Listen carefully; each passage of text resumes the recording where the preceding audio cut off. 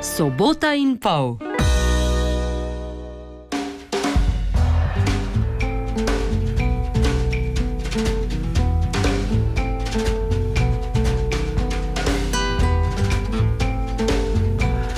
Žganje kuha ima na podeželju dolgo tradicijo. Spretnost destiliranja fermentiranega sadja se marsikje prenaša iz roda v rod. Ponekod je prodaja žganja bila in je morda še tudi pomemben dodaten zaslužek.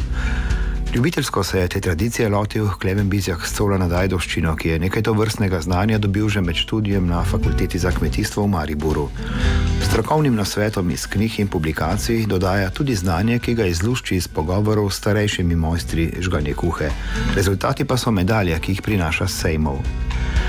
Naslednjim minutam prisluhnite z mislimi na vsa opozorila s tem v zvezi, ki jih lahko zaokrožimo v dve besedi: po pameti.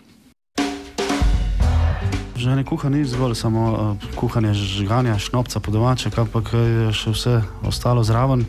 Predvsem pa je treba uh, po domače rečeno uh, piti po pameti in uh, vse skupaj uh, to tudi spremljamo, degustatorska kultura in kultura samega pitja žganja.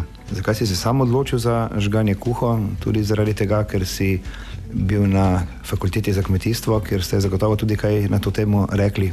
Ja, na fakulteti za kmetijstvo sicer nismo imeli prav uh, tega, bom rekel, uh, poglavja oziroma predavanja glede žganja kuha, ampak vse skupaj je prišlo malo kasneje. Tisti, ki me poznajo, vejo, da imam različne hobije. Bila je malo taka hecna stvar, ker sem enemu gospodu oziroma prijatelju dol iz Srbije omenil, da bom kuhal in je rekel, če boš ti kuhal žganje, bom jaz kupil uh, tebi uh, pravi kazan oziroma pravi uh, kotu za kuhati. In uh, jaz mislim, da bo vse skupaj bolj hec. No, in če 14 dni na carino je prišel kotu in jaz sem mogel začeti uh, počasi kuhati. Predvsem sem črpal uh, začetka malo z knjig, predvsem z knjig, mislim, da sem nakupil vse knjige v slovenskem jeziku, kar so obstajale. In potem se pa začneš uh, družiti malo z temi podobnimi ljudmi, oziroma z ljudmi, ki jih uh, ta stvar zanima.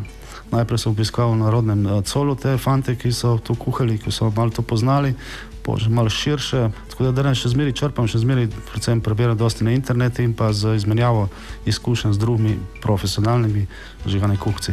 Bi jim lahko zaupal, kaj je skrivnost žgane kuhe? Kot sem rekel, vse mora biti po pameti. Ne? Začne se z zdravom zrelim sadjem, verjetno treba dati tudi neko ljubezen noter, vse skupaj, pravilno uretje in potem tam ta postopek. Zdaj, postopek ima vsake žene kuha svoj, neko pravilo pa obstaja in tega se pač treba držati, kot je recimo neka higiena in pa vse skupaj to kuhati po pameti. Ja, zagotovo ima vsak, ki se ukvarja z žganjem kuha, tudi kakšne svoje male skrivnosti, kot rečemo. Osnova je ista, drugače so pa pol te nijanse, ker delajo dobro žganje, boljše od drugih slabših žganj. Kje sam dobiš sadje?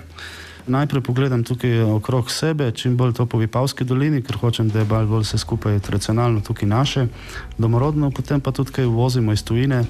Kaj pravzaprav prinašajo same knjige, sama strokovna literatura? Gre vse podrobnosti, torej nek samouk bi lahko recimo z knjig se naučil žgane kuhe? Ja, se bi, ja. se, tudi jaz sem najprej z knjig črpal in uh, tudi tista prva žganja ni bilo lih neko dobro okus oziroma neki super izdelek, ampak kasneje na napakah se naučiš, uh, drugače pa je to primerno za kogarkoli, to žgale kuha je lep hobi, srečaš uh, zanimive ljudi in imaš res občutek, da si nekaj lepega ustvaril. Sama žganje kuha pravzaprav je hobi, kot praviš. Težko je verjetno, da bi se s tem preživljal, recimo, da bi to bila obrt ko začne hobi biti obrt, potem ni več hobi in potem ni več tiste prave ljubezni, ni več tistih dobrih trenutkov, ki jih preživiš ob hobiju. Bomo videli, kaj bo prineslo 2021. Pač načrte imam in vso to evidenco, ki jo moram tudi voditi zaradi teh trošarin, ki jih moram plačevati. Bomo videli, no, se pustim presenetiti. Omenil si trošarine, je žganje kuha pri nas nekako regulirana. Žganje kuha je regulirana izredno strogo. 2016 smo sprejeli nov zakon o trošarinah za žgane pijače in je izredno strog. Država ima tukaj vse skupaj miži, tako da je trg nekako neurejen. Kakšen mora biti okus recimo dobrega žganja? Je slivovka, mora, mora pač uh, dišati po slivi. Ne? Tropinovc mora dišati po, po grozdju oziroma po, po tropinah. To je osnova. Zdaj, uh, okus je ista stvar, uh, in pa, potem pogledamo še uh, pač to bistrino in pa čistost sama žganja. Kaj pa sama kemija, koliko jo je zraven? Kemije jaz se izredno izogibam, čeprav je to kemični proces, kar, kar ustvarjam. Kemije se izogibam, izogibam se sladkorja, dodajanega sladkorja, dodajam kvasovke, naravne kvasovke, ostale kemije pa ne uporabljam. Tako Klemen Bizek je na sogovorniku v prvem delu pogovora, v drugem še nekaj o nagradah, ki jih prejema njegovo žganje za ta predahe na glasba po tvojem izboru. O nekaj bom dal od Jamie Quaja, ki me spominja, ko sem bil na koncertu deset let nazaj v Pulski areni in komate Little L.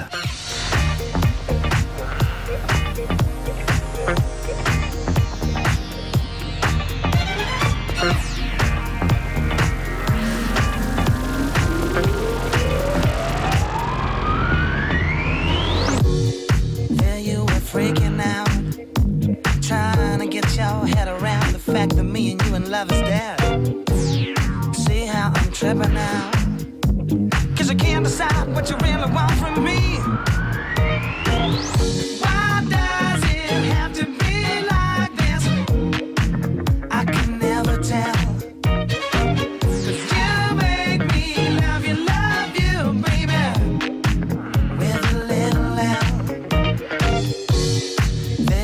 Shouting out, cranking up your altercations, getting upset in your desperation, screaming and hollering this the becomes our paper thin.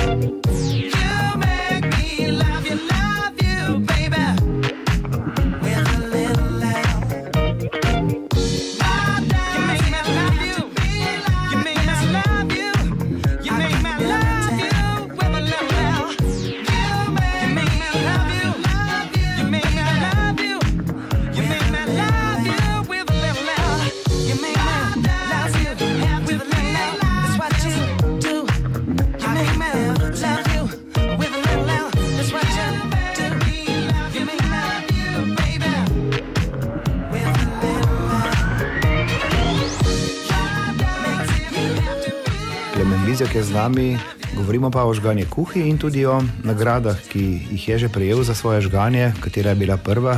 Ja, lani sem prejel uh, zlato priznanje za Tropinovc in srebrno priznanje za Tropinovc v Slopah, tu na, na Brkinih. Letos sem pa prejel kar, kar precej nagrad, srebrno in bronasto na dnevih Rakije v Šapcu.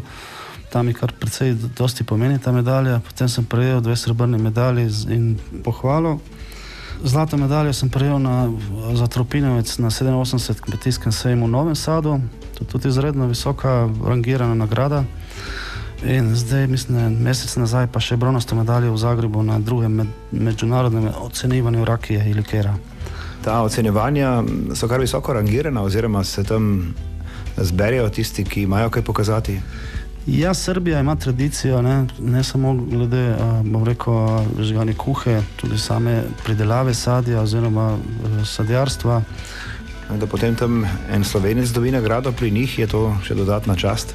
Ja, to je čast, ja. kar veliko presenečenje. Tudi od njih sem prejel tudi poziv od organizatorja, so bili presenečeni, veseli. Največ pomeni ta nagrada. Kdaj je pravzaprav najboljši čas za kuhanje žganja? Pri nas tradicionalno se je kuhalo po zimi, ker so pač. Uh, so te kmečke opravila zunanje eh, malo zastale in so pač ljudje kuhali po zimi. Po domače mi rečemo tukaj z mojimi kolegi iz Mirja je dober čas za kuhanje. Še morda kakšen konkreten nasvet, prej si dejal, da si se pozanimal tudi pri teh starejših mojstrih te obrti?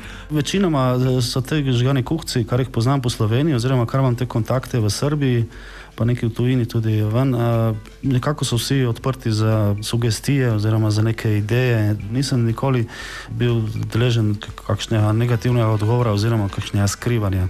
Ja, skrivnost je pač značilnost samega bakra, je ta, da pač absorbira te strupene snovi. In, uh, videl sem tudi že te kotle, tudi, ki so z inoksa, ampak uh, te moji eh, mentori, ki jih imam dol v Srbiji in kolegi, vsi prisegajo na, na bakar. To je prva stvar. Druga stvar je samo postavitev hladilnika, samo čiščenje hladilnika oziroma samo čiščenje kotla.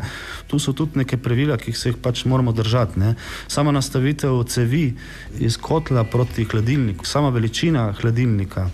To so te stvari, ki jih eh, pač recimo jaz v začetku nisem vedel. Zanimiva stvar je tudi, ker tukaj pri nas na Vipavskem poznam tudi fante, ki kuhajo samo enkrat. Ne? To je v Srbiji ali pa recimo v Tuniziji, je to skoraj nepojemljivo. Ne. Druga, tretja stvar, četrta stvar, izredno pomembna je samo izločanje pravega alkohola, kdaj imamo prvi tok, srednji tok, zadnji tok. Ne. To so recimo te stvari, ki sem jih, mogel, sem jih jaz prebral potem kasneje v knjigi ali pa so mi povedali, ampak sem preizkusil, poskušal. Ne tako torej po pameti tudi z moje strani govorimo pač o alkoholnih eh, pijačah in uh, treba seveda je imeti pravo miro. Je pravzaprav žganje kuha tudi svoje vrstno ljudsko izročilo in kot takega smo ga pravzaprav tudi predstavili danes v teh minutah. Za konec pa, Klemen Bizjak, si tudi navdušen fotograf, tudi kaj dokumentiraš eh, to svoje žganje kuho med drugim? Ja, obvezno sem aktiven na Instagramu, Facebooku, uh, vodim na samem uh, Facebooku zelo zanimivo skupino Žgani Kuha, kjer imamo 500 članov. Pravkar smo izvedli tudi medsebojno ocenjevanje, tako rekoč unikatno medsebojno online ocenjevanje. Deset žgani kuhov iz Slovenije je poslalo meni vzorce in smo si potem razdelili te vzorce in je vsak ocenil drugemu ta vzorc. Danes je pač potrebno biti aktiven, rekoč družbeno aktiven in pač tudi aktiven na, na socialnih mrežah.